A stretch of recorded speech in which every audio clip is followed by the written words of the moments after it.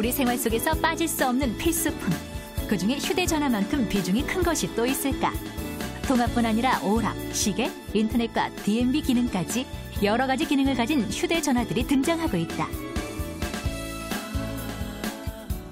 이런 제품들이 한꺼번에 출시해서 소비자들의 다양한 욕구를 충족시켜주고 있는데 만약 이런 휴대전화가 고장난다면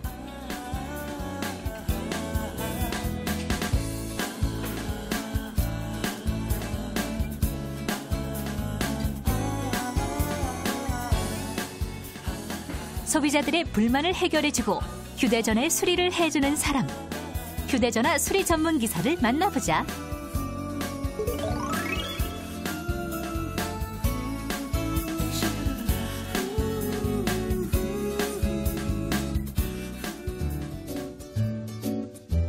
서울시 강서구에 위치한 한 서비스 센터.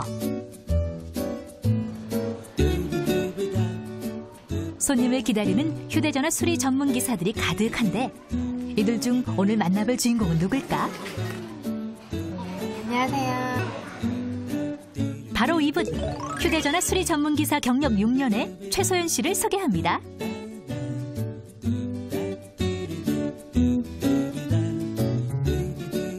이른 아침부터 부지런히 자리 정비에 열심인 소연 씨. 고객이 오기 전에 깨끗한 자리를 만들기 위해 미리 청소 중이라는데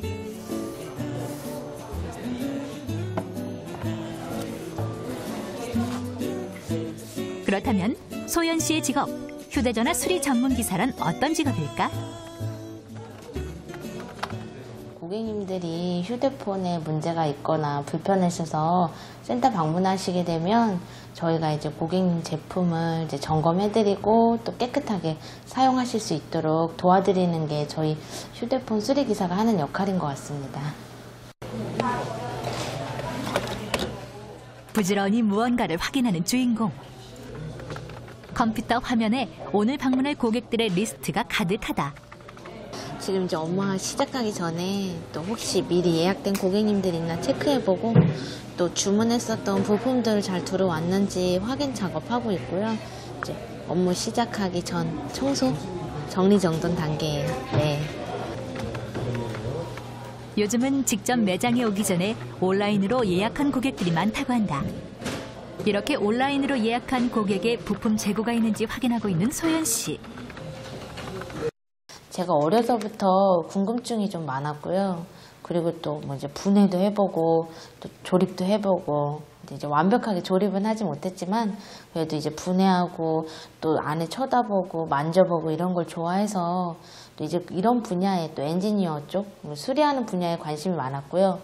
또 마침 대학교 때 그 한 전자회사에 다니시는 분이 여성 엔지니어를 모집한다는 이야기를 해주셔가지고 제가 아, 여성 엔지니어 그래서 마음이 좀 끌리더라고요. 그래서 바로 지원하게 되었습니다. 네.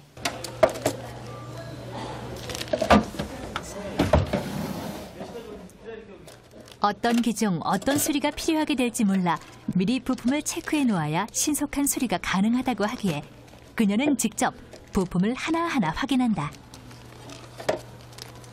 네, 여기 이제 전면으로 보시는 부분에 핸드폰 부품이 다 들어가 있고요. 이제 저희가 이제 따로따로 나눠가지고 이제 모델별로 관리하고 있어요.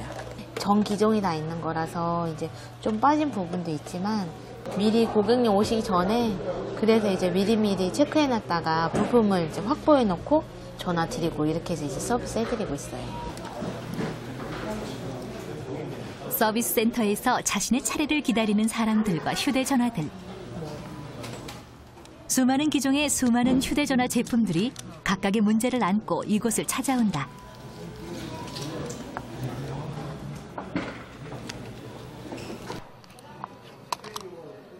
하루 한 시간이 바쁜 현대인들에게 빠르고 정확한 수리는 꼭 필요한 일이다. 그렇다면